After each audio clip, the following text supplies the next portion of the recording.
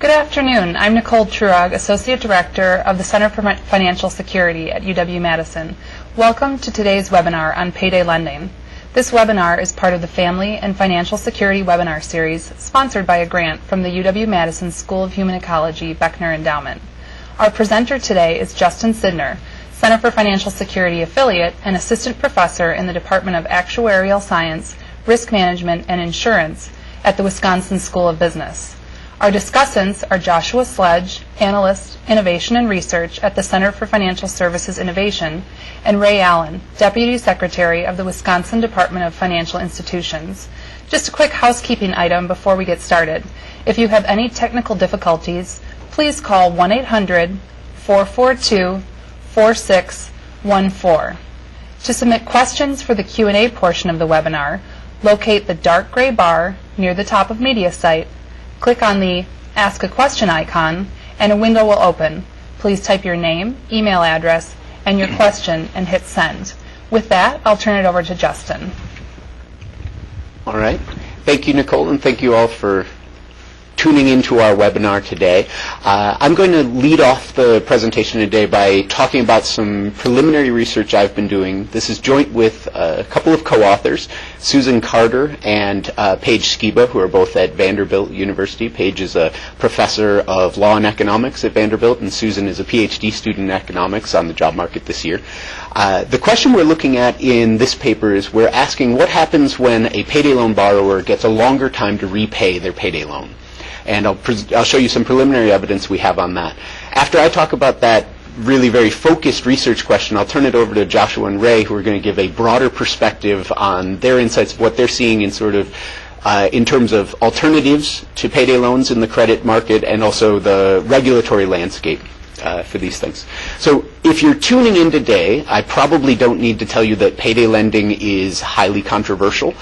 And I think that controversy really reflects sort of two different perspectives on the role of payday lending in credit markets. So the good, which I have highlighted here on the slide is the sort of green box, is the idea that payday lending may provide quick and accessible credit to those who really need it. And it helps people to avoid potentially bouncing checks and being late on a range of utility bills. And from this perspective, we think about people who are very rational and happen to be facing a temporary slowdown in their income or a shock to spending that they need, and payday loans fill a gap in their credit needs.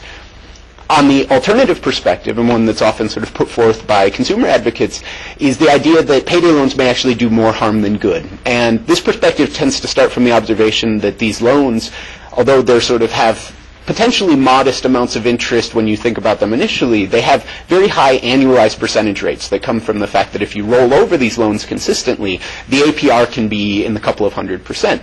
And uh, we observe many people do roll these loans over. And so from this perspective, you might think of payday loans as essentially a dangerous product for people who have self-control problems or generally chronic problems with budgeting. And that access to payday loans may lead them to a debt spiral, and they'd be better off without them. And, you know, really this is sort of an open question in much of this literature, and this sort of tension between these two views of payday lending, and, you know, they're not mutually exclusive. For some people, they can be very beneficial, and for others, they can be harmful is reflected in regulations that vary quite a bit. So there are some states that, about a dozen states that ban payday lending effectively altogether, and a few states where there's essentially no regulation at all.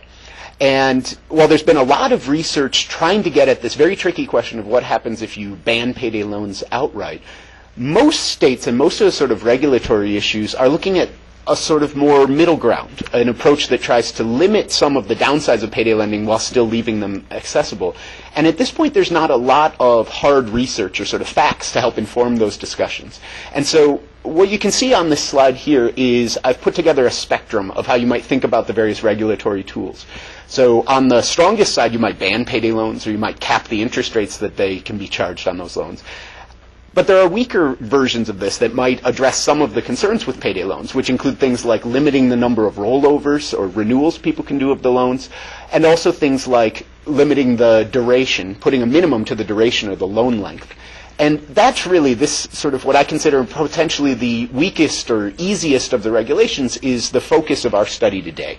So what we're interested in asking the, answering the question is what happens when you give somebody a longer time to pay a payday loan? And we're really going to be interested in asking that question if we could hold all else equal. And there are really two things you could think of that this might do. The first is that it should lower the effective interest rate on a loan. So if you take a loan and you keep the same interest charge, but you give people a longer time to repay, that lowers the annual cost of borrowing. But there's a second thing, and something kind of inherent to a lot of people thinking about doing these regulations, is that it may also help reduce the frequency of rollovers. This idea that people get into a pattern and just keep rolling over the loan rather than repaying it and end up paying high interest. And the idea is that if you have more time to repay the loan, you're more likely to be able to save the money and actually pay it off. And what you can think of is that this really interacts with these two stories we have for what's going on with payday lending. If the sort of good side of payday lending is really dominating, what we have is we have people who are facing a temporary shock and are trying to deal with that shock. And if you give those people a longer time to repay their loan, they're much more likely to have the ability to save the money and get it repaid. Alternatively, though, if what we're seeing is a lot of chronic borrowing driven by issues such as self-control problems or inattention to budgets, it's not at all obvious that having a longer time to repay is going to have any fundamental effect on people's ability to repay and avoid a continued pattern of rollovers of these loans. And so for that reason, we think this is a really interesting empirical question, both because as a policy issue, we want to know what happens if we give people a longer time, but we also think this may help us learn a little bit about these two differing perspectives. Uh, so what I'm going to tell you about is a very specific research project that we've undertaken to try to answer this. Uh, we're taking a couple of different approaches. I'm going to tell you about one specific approach that we're taking within this research today, and then potentially we can touch on some other things later.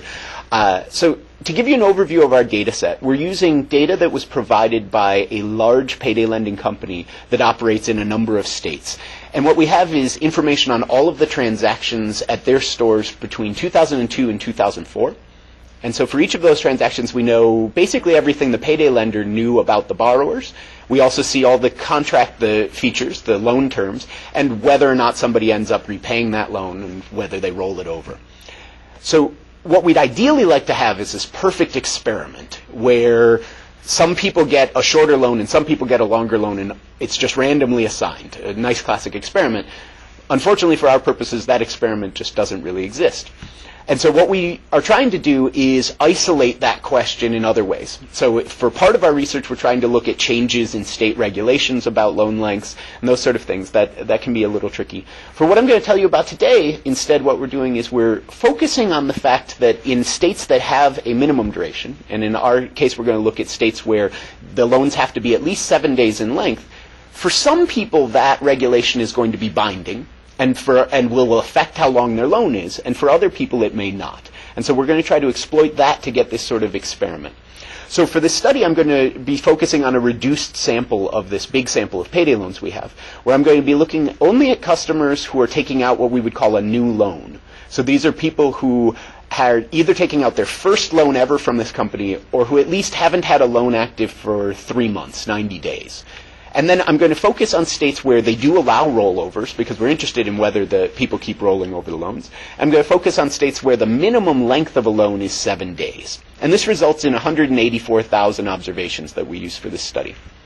So let me quickly characterize the data for you a bit. And I think it can be useful actually to just step back and look a little bit about what payday loan borrowers actually look like. So the average borrower in our data set is 37 years old.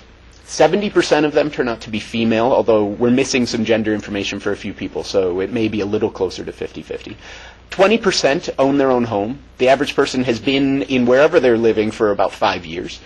And they have annual take-home pay. So we take, we get that from looking at their paychecks and extrapolating it to an annual paycheck of $22,000. So these people are lower income, but they're certainly not below the poverty line. They're not uh, extremely low income individuals.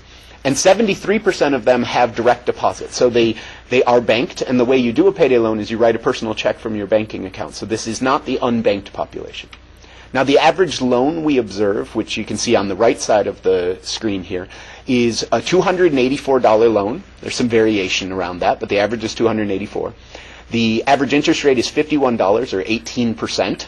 and the average person has 14 days to repay, which translates into an APR of 468%. So our outcome of interest is really going to be what happens for this first loan that people pay, take out. Do they repay that loan on time at the when it's due? Do they roll it over, essentially generating another $50 interest charge? Or do they default on the loan, which generally means that they've let their bank account really run out of funds? And what you see is this graph shows the overall fractions of those different outcomes in our data set. So roughly 40% of people repay that first loan. Okay. A slightly higher fraction roll it over, so we do see there are a lot of these rollovers, but there's a mix between people who repay that first loan and a, fraction who renew. And then we've got a little bit over 10% of people who default on that first loan. Okay. Now, our question of interest is how these outcomes are affected by the length of time somebody has to repay the loan. Mostly we're going to use this sort of slightly experimental style variation I was mentioning before. But before we do that, let me just give you one general picture of what this looks like.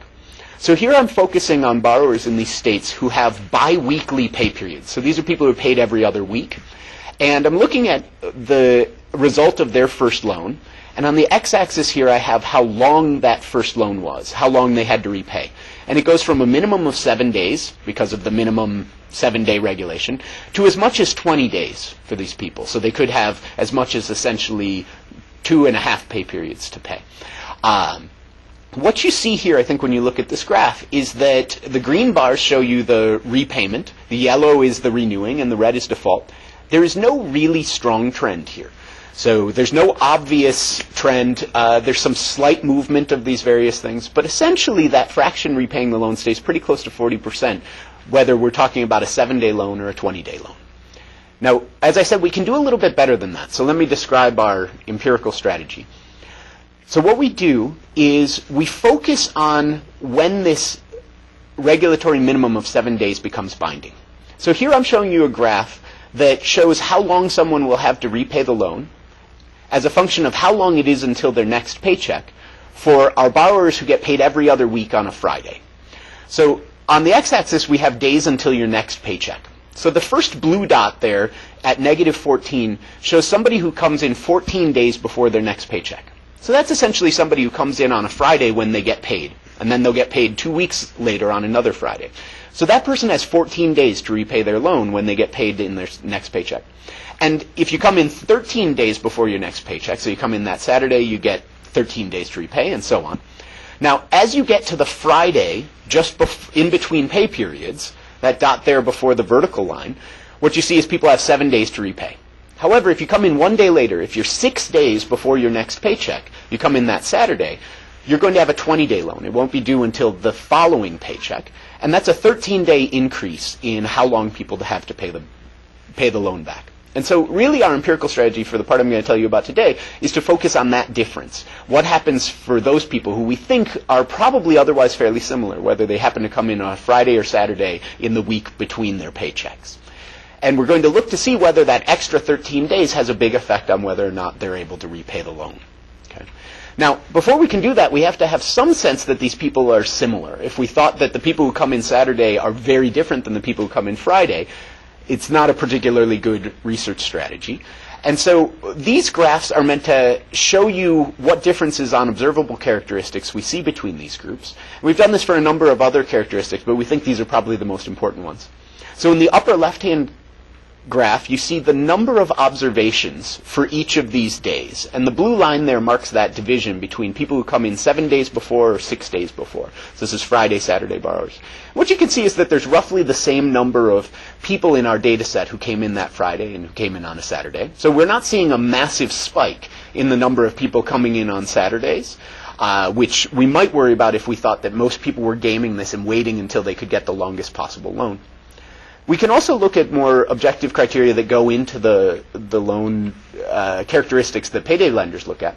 So in the upper right, we see the credit score. So this is an average credit score, and these aren't FICO scores. These are uh, subprime credit scores. So you can't interpret this the way you might your bank credit score. But what you see here is that there's really no difference between the people at any of these days that they come in on their average credit scores.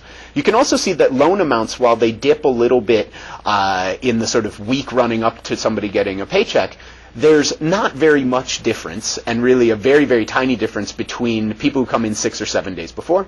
And similarly, when we look at the biweekly paycheck amount, they average in the high 800s on their biweekly net paychecks, and it doesn't differ on this. So the main takeaway from this set of graphs is that it looks like these people are probably fairly similar. Now on this graph, what I'm doing is I'm just showing that same x-axis on the days until the next paycheck, and on the y-axis, I'm showing the fraction of people who repay that first loan. Okay, this is again biweekly borrowers paid on Fridays, and that blue line shows us the division between seven days and six days before, where we see that 13-day jump in the loan lengths. And what you can see is that there is a small, but it, it's really quite modest, difference between the dots on either side of that blue line. So 40% of the people who get seven-day loan lengths are repaying their loans, and 44% of the people who come in a day later and get a 20-day loan length repay their loan. Now we can also do this if you're worried a little bit about Friday, Saturday effects, what sort of person comes into a payday loan on a Saturday. We can also do this with biweekly borrowers whose paychecks are paid on Thursdays. So now we've got the same graph, only here the difference comes between whether you come on the Thursday between paychecks or the Friday between paychecks. But otherwise the strategy is the same. And we can do the same types of graphs to check whether these people look similar. The only place where this really looks a little different is if you look on the number of observations. Here we do have to worry a little bit that uh, the people who come in six days before, meaning the people who come in on Fridays in this case, there are more of those people. There's a jump there on the right side of the blue threshold line relative to the number who come in on those Thursdays.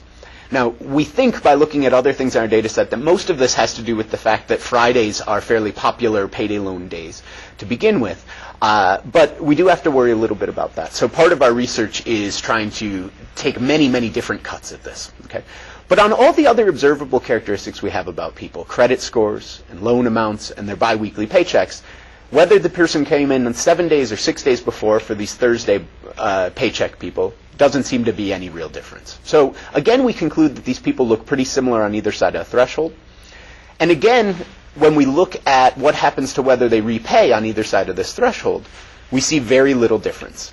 So if we focus on these two dots on either side, 42% repay when they have when they come in seven days before their next paycheck, and 44 when they come in six days. Now, so far I've focused only on borrowers who are paid every other week. We can, and that you know generates this dynamic that could be unique to borrowers who have every other week paychecks. There are Thursday, Friday, Saturday effects that we might worry about. So here what we're doing is I'm showing you some results we have where we're looking instead at borrowers who are paid semi-monthly. So these are people who generally are paid either on the first or second of the month and almost always on the 15th of the month, provided that the 15th doesn't fall on a Sunday.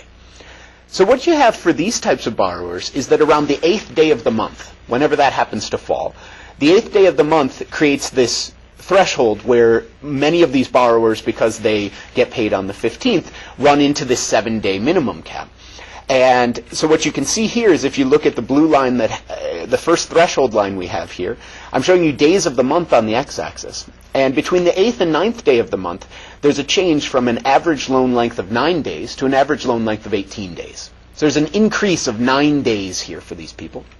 And then we have a, another jump or sort of a trend break in the uh, days they get to repay the loan that happens around the 23rd, 24th day of the month that comes from the paychecks that come on the first or second. Now this one's a little messier because not everyone's paid right on the first. Um, and there are some issues with 30 or 31 days. But here we have two of these thresholds we can try to look at. Now again, we can do the same sort of analysis to try to see whether borrowers on either side of the thresholds look similar. And here, on all of these measures, what you can see is that the borrowers really do look very similar. The number of observations doesn't jump wildly on either side of the threshold. The credit scores are very flat throughout here. Loan amounts and paychecks are not varying in any very strong way across these things. So again, we conclude that it looks like the borrowers on either side are pretty similar. And again, if we look at the fraction of repayment, we see very little movement here, only a percentage point or so for the first threshold and maybe about four to five percentage points on the second threshold. Okay. So uh, this is to show you the results we have from this part of our analysis. We're also doing it in a number of different ways. Uh, but so far, in everything we've looked at, what we're finding is really a very small effect of longer loan durations on the probability of repayment. And our best estimate is that each week longer somebody has to repay their loan increases their probability of repaying that first loan by one or two percentage points. Okay? So it's not it's not nothing, but it's also not massive. Uh, so we think this is a useful result for people interested in thinking about these policies, but we also think it sheds some somewhat direct light on some of these theories of the loan demand. And in particular, the lack of response we see to these longer loan durations suggests to us that these theories that suggest that people have chronic problems with debt are probably likely to be relevant for the people who are renewing their loans. Okay, so the people who repay their loans the first time may very well be these borrowers who are using this to deal with a very temporary shock. But because we don't see very much response to longer loan durations among the borrowers who had been renewing, or uh, to say it a little better, because we don't see much impact on renewal behavior from having longer loan durations, we think that seems probably most consistent with some of these stories that suggest people have chronic problems with debt, rather than that they're using this as one, uh, an ability to overcome a temporary shock. Um, and we think this has po- some policy implications. So the first policy implication is we think that the case for longer minimum durations as a policy issue really rests on the ability of those longer durations to help lower the annual costs of borrowing. Okay? And that's something in our study we can't say very much about. We're focused only on those first things. But that part of the policy still has bite. However, as a policy for dealing with rollovers and renewals, it doesn't look like this is very powerful. And in some ways that's important because you might have thought that longer loan durations could be a very nice policy because unlike trying to, for instance, limit rollovers directly, you can enact this policy pretty broadly without a lot of regulatory oversight. Monitoring rollover behavior instead requires you to check whether each loan is being rolled over, track them individually, and also compare across stores. So you need to know that someone is not paying off one loan by taking out one at a different store. Um, so there are reasons why, as a policy, longer loan durations might have been an attractive way of dealing with this propensity of people to roll over these loans. But it, from our results, it looks like it's not going to have a lot of impact there. So now let me turn turn things over to Joshua, who is going to give give us his perspective on sort of a broader perspective on what's going on uh, for access to short-term credit. Sure. Thanks, Justin. Appreciate it. Um, so if we can move to the next slide. I think maybe a little bit of a delay here, but um, yeah, no, thanks again to Nicole and Justin and the entire Center for, for Financial Security for the opportunity to uh, speak with you all today.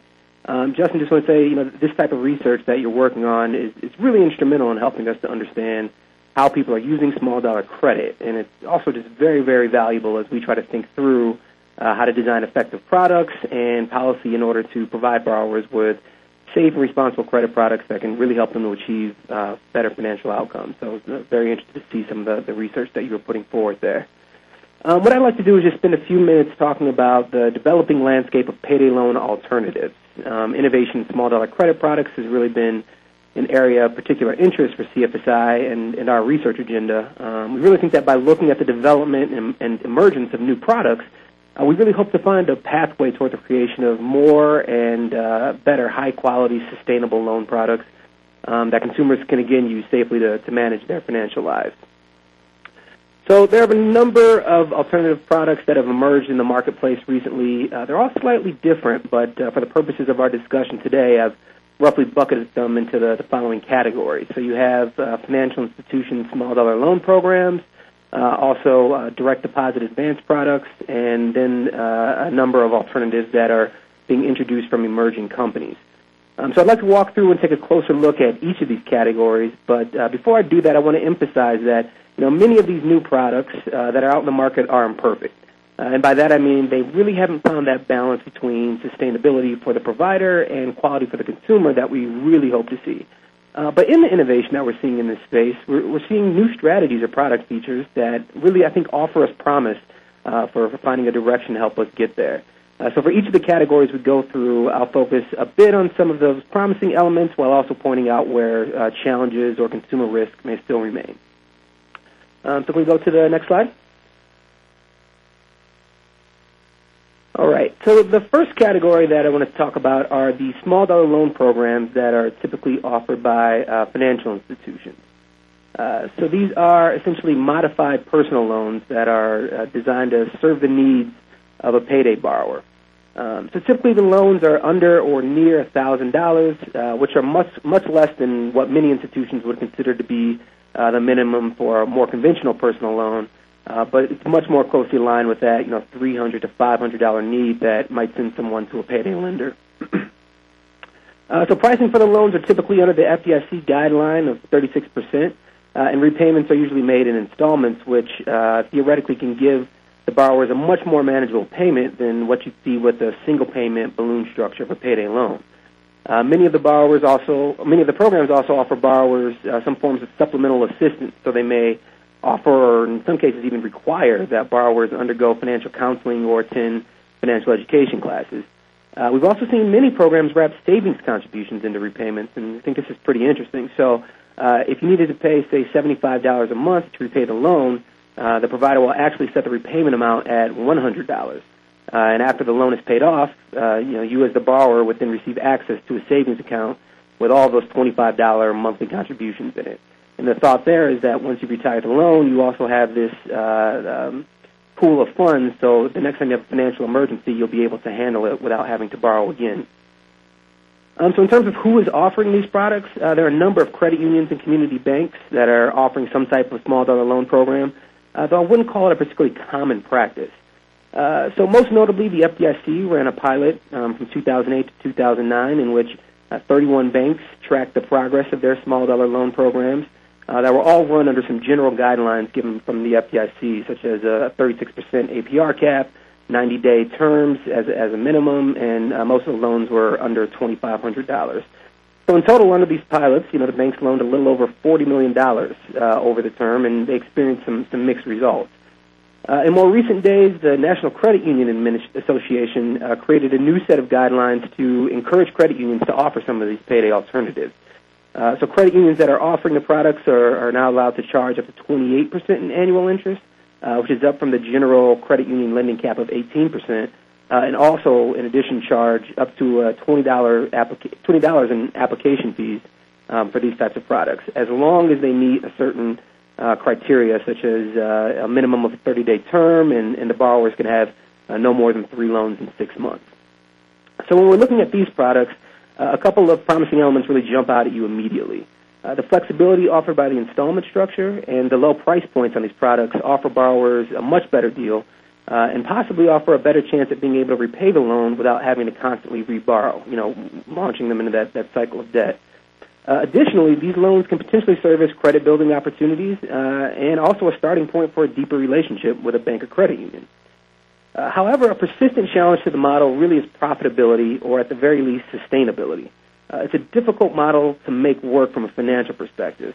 Uh, underwriting often requires significant efforts from loan officers and other members of the bank staff, and that can really consume a lot of research and put pressure on this low pricing model.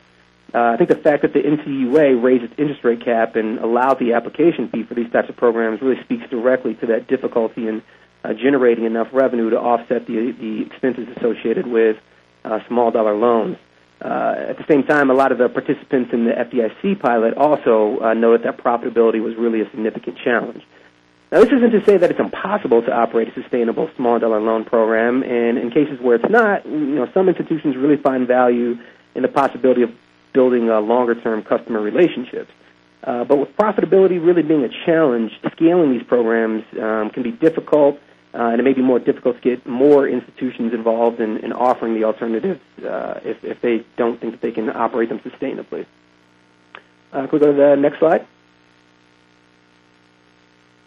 All right. The uh, next emerging category is the deposit advance product. Uh, so these loans are offered as an add-on product to checking or prepaid card accounts. Um, loans are generally limited to $500, some ranging up to 1000 uh, and they're offered to customers that hold a transaction account and also utilize uh, direct deposit. Uh, so these products are designed to let customers borrow against their future direct deposit payments. So, for instance, if my bank offered a deposit advance product, I could go in and request to borrow anywhere from, say, $20 to $500, depending on what I needed the money for. Uh, that money is then placed right in my checking account that day, and the next time my check, my paycheck is deposited into the account, my bank will deduct the amount of the loan and the associated fee for borrowing. So these products have been around for a while, but uh, have developed and really expanded in recent years. Uh, a few years ago, the iAdvance direct deposit uh, advance product was offered as an add-on to a number of different prepaid cards, uh, but was ultimately shut down by the Office of Thrift Supervision, uh, who cited unfair, deceptive acts and practices uh, that were associated with the product. Uh, currently, we're seeing a number of large banks offering the deposit uh, advance products, including Wells Fargo, U.S. Bank, uh, Regions, as well as uh, Fifth Third. Now, on the promising front, uh, these products really rely heavily on automated technical systems to do almost everything in the loan processing, processing chain, uh, all the way from underwriting to distributing the funds and even collecting repayments. So because of that, providers gain some efficiencies by using these kind of automated technical systems, and that can really help to overcome some of those cost challenges that we saw uh, impeding um, uh, the, the financial institution small dollar loan programs. At the same time, they're also um, ex- almost exclusively offered by banks, so you have that same potential for uh, building or expanding a relationship between a bank and uh, potentially an underserved customer. But on the consumer side, there's uh, some notable challenges and risks. Uh, as they currently stand, many of these products have relatively high prices, uh, usually around $10 per 100 borrowed. Uh, additionally, they typically have the same short-term single repayment structure that uh, you might see with a payday loan, uh, which can add pressure on customers to have to then reborrow in order to um, fulfill their uh, monthly expenses.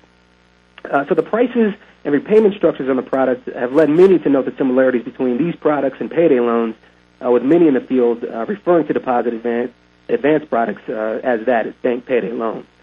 Uh, there are also concerns over the requirement of automatic repayment, which is a, a key feature here, um, as it gives the lender the ability to take repayment out of a borrower's paycheck before they're delivered. Um, so if these funds are withdrawn, you know, what does that mean for the borrower's ability to, to pay for necessities? Uh, could it lead to one or multiple overdrafts, and what does that mean for the customer? Uh, so overall, the field is seeing some significant concerns raised uh, over the emergence of the, the deposit advance products. Uh, the next slide.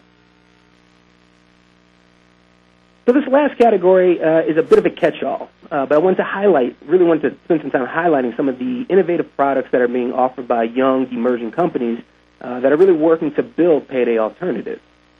So structurally, many of the products are, are very different, uh, but they're all designed with the underserved consumer in mind. Uh, interestingly, uh, most are developing new ways to underwrite loans in an efficient manner that will allow the provider to gauge whether or not a loan is affordable for a borrower. Now this can be tricky with the underserved segment, you know, many of whom may be thin or no file consumers, meaning that they don't have sufficient credit histories to generate a reliable credit score, uh, or consumers may have damaged credit, perhaps as a result of the financial crisis. Uh, so being able to use non-traditional means to underwrite loans uh, is very important for serving the underserved. Uh, another similarity between the different types of products is that many of the new providers are leveraging niche distribution strategies uh, in an effort to really try to find the right ways to be able to offer loans efficiently while still reaching the target uh, consumer. Uh, so, for example, uh, Progreso Financiero, a uh, provider offering small dollar installment loans, uh, they offer their loans through kiosks in Hispanic grocery stores as well as freestanding retail outlets uh, in Hispanic neighborhoods to better serve their target market. Uh, several of the new providers have also turned to the online channel, which allows them to avoid some of the, the high costs that are associated with maintaining a, a network of physical outlets. Uh, so two notable examples are Zestcash, an online installment lender, uh, and BillFloat, who offers short-term loans that are which are used to pay utility bills uh, on behalf of borrowers. So finally, we're seeing experimentation in offering loans through employers, almost as an added employee benefit. Uh, so workers are able to take out small installment loans uh, with repayment automatically being deducted from their paychecks. So in that field, you see uh, Flex Wage, Symbius Financial, uh, and Emerge Financial Wellness are, are all offering versions of this employer-linked credit model.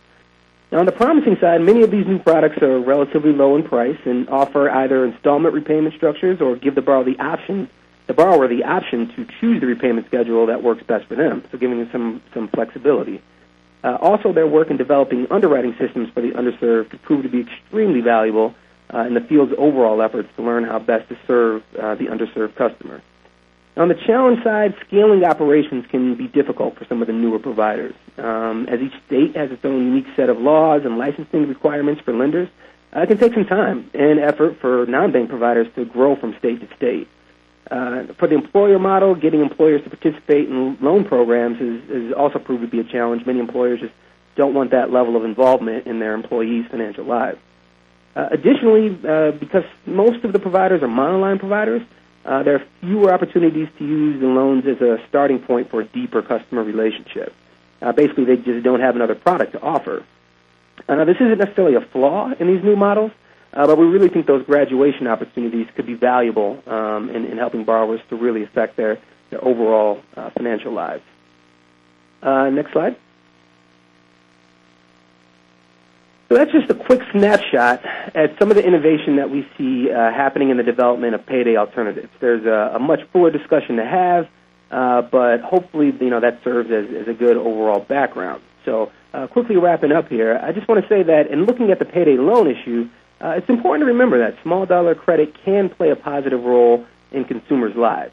Uh, it can help households to manage their short-term cash shortages, or if there's an emergency that they need to handle, they may have the funds available to do that. Um, and in the case when products feature credit reporting, it can really serve as a credit building opportunity, which can uh, serve benefits for the consumer uh, down the line. Uh, however, we can't expect small dollar credit to play this positive role unless it's of high quality. Now, how do we define high quality? I think that's a, a discussion we should have to help us figure out really how to push and where to push the marketplace uh, in order to get it where we want it to go. Uh, at a high level, we really think it includes uh, the following factors we have here. It must be affordable and structured, structured to support repayment without having to borrow again. Uh, it should be marketed transparently and priced fairly.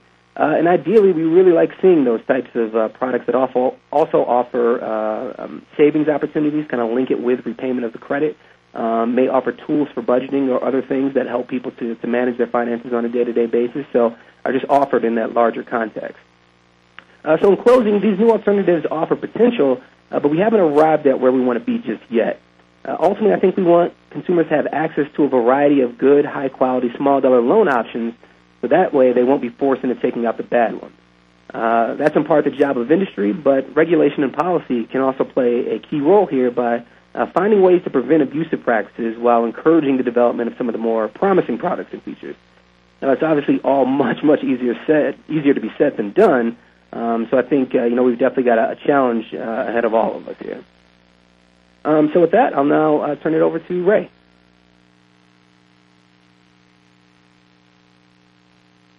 For uh, um, their assistance in this important, I think, uh, uh, discussion on such an important public policy matter.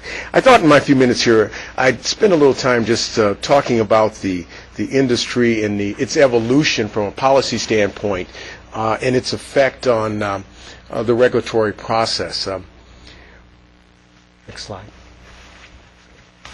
In um, 1998, uh, the Consumer Federation of America published a report on payday lending and, and, and followed up on a report that it had done um, the previous year. Prior to the early 80s and 90s, the uh, most states uh, really restricted uh, um, payday loans. That um, it wasn't until the to the mid 90s that uh, um, the payday loan industry began to grow, and they they did it using somatics to kind of circumvent the state's credit laws. Uh, they used check cashing as a as a store as opposed to a payday loan store. They used a deferred presentation definition, which uh, allowed them to really have kind of an installment loan that really had high, high interest rates and they didn't have fees were not uh, considered to be interest. So they did things that uh, circumvented the laws that were in effect uh, from the regulatory standpoint to uh, um, continue to create a market for um, their industry. By 1998, 32 states had regulated uh, payday loans and allowed payday loans. The uh, payday lenders really kind of filled a void that was left by the banking and credit union and other financial mainstream uh, folks uh, leaving uh, communities and uh, not making um, low volume uh, loans to a lot of consumers. Um, their APRs on the um, payday loans, as uh, some have shown, range from 700% to up to 2,000%. In 19, by 1998, the payday loan industry uh, was doing about a billion dollars in volume. And today, uh, payday loans uh, run an estimated uh, 27 billion, and that's not even uh, looking at uh, the online payday lenders who um, we don't have a lot of statistical data on at this presently. I thought I'd look at Wisconsin and, and kind of give you a little history of how regulation and, and how the industry has grown in, in that state. And um, in 1993, we only had two companies with 14 licenses making payday loans in Wisconsin. They were licensed under one of the statute, but uh, the statute did not uh, specifically define a payday loan. Uh, the industry uh, continued to grow. By uh, 97, we had 46 uh, companies that were making payday loans, and, and by 98, we, we had, were up to 162 licensures. By 2000, the industry had greatly expanded. We had 524 uh, licenses that we had granted. They were making up to $1.7 million in loans and uh, 1.7 million loans at a volume of $735 million in lending. Um, the federal government has now become involved, uh, certainly in the uh, uh, payday loan uh, regulatory uh, uh, function through its new Consumer Financial Protection Bureau. Um, some of you may be aware that the U.S. Army and military engaged in a, a, practice to eliminate payday loans for their own uh, uh, members, and uh, we're very proactive and very aggressive about that.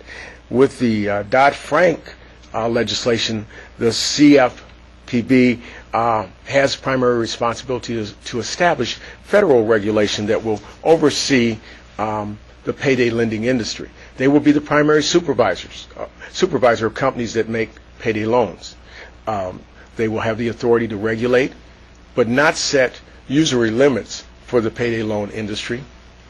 And the CFPB has been very outspoken uh, in terms of their intention to focus on the uh, payday lenders uh, in that industry. Now, in Wisconsin, uh, just recently in January of 2011, we, we passed Wisconsin Act 405, which uh, um, affected the payday loan industry. It uh, defined payday loans by statute. It limited the rollovers uh, number per loan, and it uh, required that there was no interest after the maturity of that loan. And it required uh, payday lenders to use a common database in July, uh, that act was uh, modified, and the changes um, allowed payday loans to be redefined to mean a transaction for a term of 90 days or less, meaning that if in fact it was of 91 days, then it no longer was considered a payday loan or regulated under that statute. It permitted interest after the maturity of a, at a rate of uh, 2.75% per month, and it required repayment plans only once every 12 months. The impact of those laws has uh, basically, through the use of our database, shown that the number of loans and the loan volume has been down since the modification to the law. We had uh, 194,000 loans compared to 1.2 million loans in 2010. Uh, we had $58 million in loans compared to $483 million in 2010. And moving ahead, we, we see some challenges, I think, in the industry. Obviously, as a regulatory body, we have to look at the industry and try to figure out uh, how do we regulate an industry without adversely affecting uh, the providers of that industry. Where do we find the balance? Um, we know that the typical uh, payday borrower remains in debt for much of the year, and many are indebted for extended periods. We know that the borrower's loans uh, have a propensity to increase in size and frequency as they continue to borrow and significant numbers of the borrowers default on loans, triggering more fees and jeopardizing, you know, obviously their bank accounts. And our goal and our charge, you know, comes from the legislature. So one of the things that we see is will be important as the federal government begins their regulatory uh, actions that the state will probably follow those in suit, and it may, in fact, modify how we regulate the industry. Um, certainly, again, as the two um, previous speakers have said, the challenge is to find a balance between uh, providing um, a needed commodity to the consumer and regulating it so that the consumer is protected. Great. Thank you, Ray.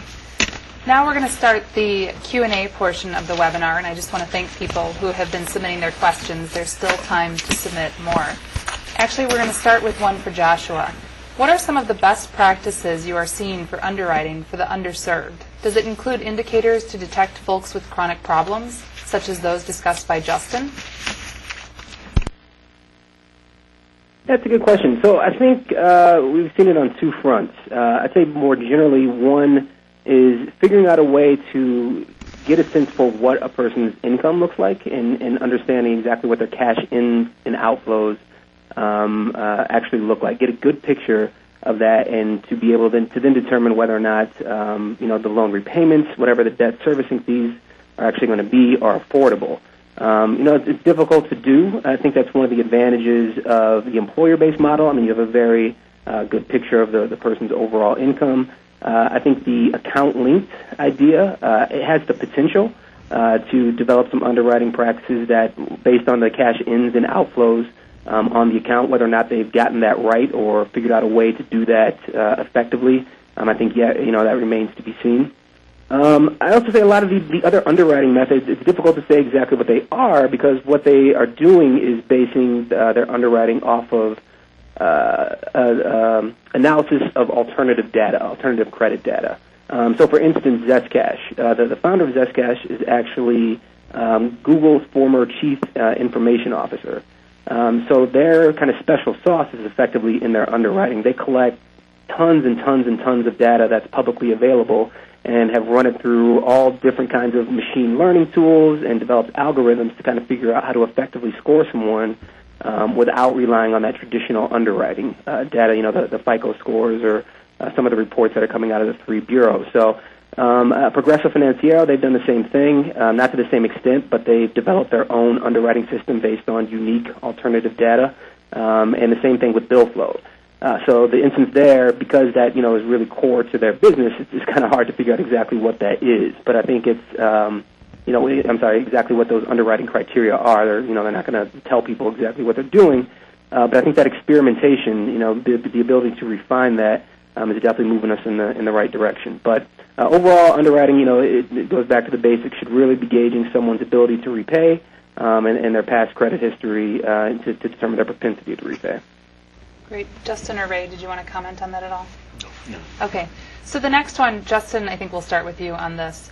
How do you account for back-to-back loans? So a back-to-back loan is where you pay off the loan entirely and immediately reborrow. So that's a great question. So just to kind of summarize the question for people, we observe loans at this one store or this one set of stores, and I was telling you a bunch of results about the fraction of people who repay versus renew those loans. And the definition of renewal can get a little tricky for payday loans uh, because they may do something that the payday lender internally codes as renewal, or instead they may technically pay off a loan and immediately take out a new loan. Uh, and so you could wonder what that might do in our setting. So in our setting, because we have all of the administrative data for a payday lender, we can define renewal in different ways. So we can look at it by saying, you know, a loan that was taken out within a day, for instance, of the closing of a last loan. We're still working on defining that for other windows. We might want to think about expanding that longer, but so far we haven't seen that mattering too much. Now, the one thing that is key is that we don't know whether somebody re- fin- pays off a loan at our place and goes somewhere else. So to the extent that that's happening, our repayment may be actually overstating things. So we said that 40% of people repay roughly. It may actually be lower once you take into account some of these alternatives.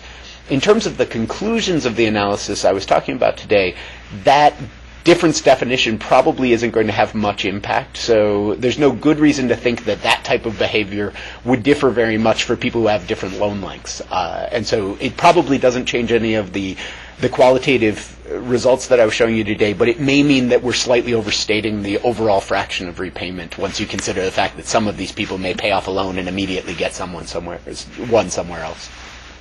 Great. Okay, this next question is for all three of our panelists.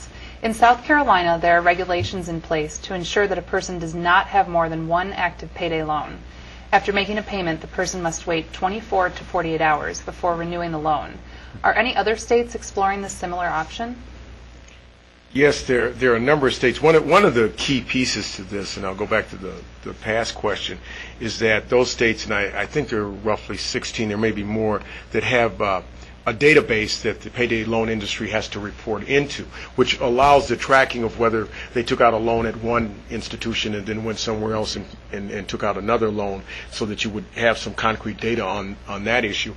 But again, the piece becomes on the tracking, that we have some ability to know when people are taking out the loans and where the regulatory um, boundaries are of how many of those loans they can take and what kind of rollover they can have within the restrictions of those, those states.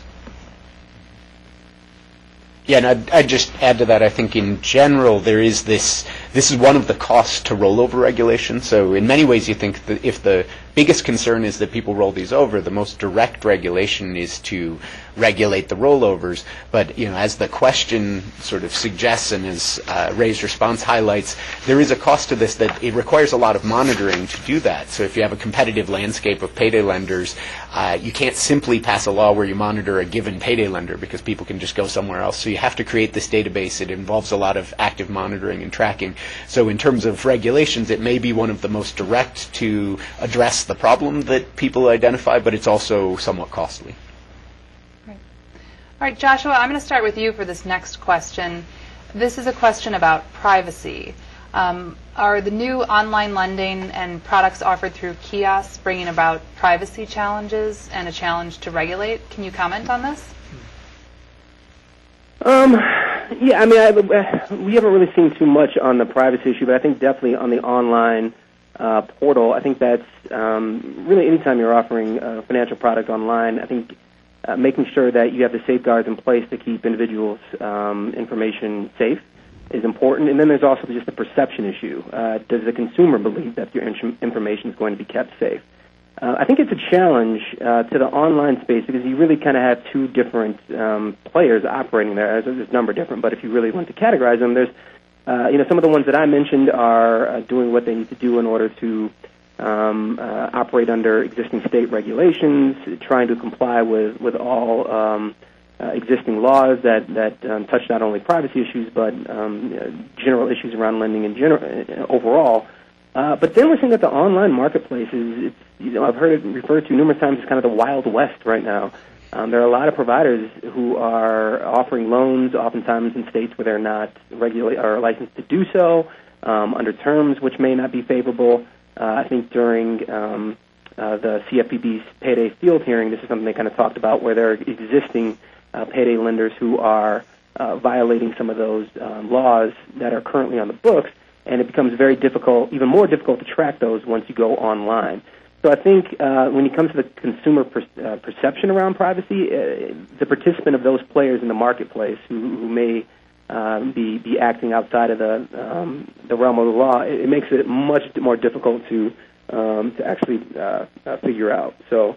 Um, you know, in the retail kiosk, I think that it, it really operates much more like a, a retail outlet. I think they, they have the same safeguards that you would get um, in a. When I say kiosk, too, I should clarify that there's a person manning that that spot. Um, so it operates very much like a, a typical retail uh, lender uh, lender's outlet. So you know they're they're maintaining the same protections there. Great. And Ray, could you just clarify one thing for us? Does the new law in Wisconsin prevent renewing a loan? You can do one rollover, and then you're prohibited after that. You have to wait a wait a period. Okay, great, thank you. Uh, here's one saying many of us are working with the military, active duty, guard, and reserves. Have there been any studies done showing what percentage of total payday loans are taken out by military versus general population? Or any resources that you could recommend for that information? So I'm not aware of one that shows that as the overall statistic you're looking for. There has been some studies of uh, of payday lending use among the uh, military population, and a couple of studies that have done sort of overall looking uh, overall studies of payday loan activity that we could point you to. So one of the studies that looked at payday lending by military uh, individuals came from uh, Carrell and uh, Zinman. So, and I'm forgetting the year now. It's 2008 or 2009. So, uh, I think we have your email on these questions, so I could get you a specific one. But they studied airmen in the Air Force, if I believe, uh, and looked at where they were located and whether the state that they happened to be based in allowed payday lending, and then they were able to look at that outcome on the airmen in a range of things. And they may have a couple of statistics in there. Uh, Ray may know some other sources of data on that. Um, but effectively, a lot of this has been not as studied recently because there's been regulation on the interest rates that can be charged to military families for payday loans that has really stifled the amount of payday lending going to military families, as far as I understand it. That's correct. Uh, uh, although they, they tell me that the Army is relooking at that uh, uh that issue, but uh, I'll, I will look and see if we have some data, and we'll answer to that email on, on that specific uh, topic. Great. Um, Ray, here's another one for you. Is it true that many payday lenders, specifically in Wisconsin, have switched to an installment loan model? If so, how has that affected loan volume in the last few years? Well, payday lenders are able to license themselves under two separate chapters. The one chapter I cited uh, uh, defines what a payday loan is specifically. The other chapter allows uh, more of an installment loan, if that be the quote. Uh, many of them um, um, are probably, uh, given that if, if we look at what's in our database now, and I told you that the volume has dropped, that there is the possibility that they are lending under the other section of the chapter and uh, in a more of an installment loan uh, model um, that has affected the volume. Because if you look at the 2011 volume, let me just give you a, a reference to other states. Um, if you take Indiana, which has a population of about a million a population about six million uh, four, um, very close to Wisconsin. Their loan ratio under payday lending is about 25 percent. That's ratio of loans per per capita. Um, they have a volume of about one million five in loans. Uh, in Wisconsin, which has a population of uh, 5.6 million people, uh, we're doing a volume of about 200,000 loans under the payday loan uh, statute right now, which is a, a ratio of loans per capita of 4%. Now, in fairness to the industry, the, the law changed in July. The data that we have is short term, obviously. So I think we need a longer longitudinal kind of study to look at that to see if that is the current trend. But uh, the, the, the quick answer to that that question is that uh, the volume has uh, is decreasing. Okay, and we've got time for one more question. So let's go with, um, is the income interruption the main problem with paying a loan back? In other words, the interest and fees are troubling, but if someone doesn't have $400, for example, to cover something one week, how will they have it less than two weeks later and still cover their bills? Even if they can't roll it over, they'll need to borrow from the same or different store. Mm. Well, in, in many of the um, uh, situations, it's the lenders are taking a check, so the folks borrowing have some source of income. They've got their check. The check is cashed, you know, at the point or post dated or uh, at the point the loan comes due, which makes their payment, you know, timely. Um, that goes back to an earlier question. If in fact they are short of cash, so now that you've taken that payroll check and cash that they've got to get another loan to cash flow themselves going forward. So um, I don't know if we have, you know, the, the, the real difficulty with this is that much of this is driven by emotion and, and public concern about the interest rates. The difficult part of that is that we don't have a lot of data to really make a data driven, per se, uh, decision on what's happening, who's using, uh, and, and how it's occurring, and how we might structure products going forward that would address um, the need for access to capital for a, a segment of this population. And I'll, I'll just add to that quickly. Um, I think studies like mine are pointing to this idea that there are just some sort of fundamentally base challenges for the population of people who are using payday loans that may have very little to do with the exact features of the payday loans. And so I think part of what this question is getting at is the question of where is the fundamental problem? Is it really with the structure of this payday loan or is it with the sort of financial lives of many of these individuals overall? And I think, you know, you could say the results of my study are consistent with the idea that many of the problems have roots that are outside of the payday lending uh, institutions. And so, you know, to that extent, some of the things that Joshua was mentioning about trying to think about financial literacy initiatives that help people to do better jobs of budgeting, that help them to reframe the way they think about their borrowing and living paycheck to paycheck, may be the more first order sort of policy thing than sort of small tweaks to interest rates and other things. And so I think that question is pretty well placed that um, some of this research is pointing towards the, the basic problems being much more fundamental than the payday loans themselves. Great. Well, I'd like to thank Justin, Joshua, and Ray, and thank you to everyone for participating. Um, the archived webinar and the slides will be at cfs.wisc.edu within one week, and the next CF webinar is on, CFS webinar is on Tuesday, March 13th.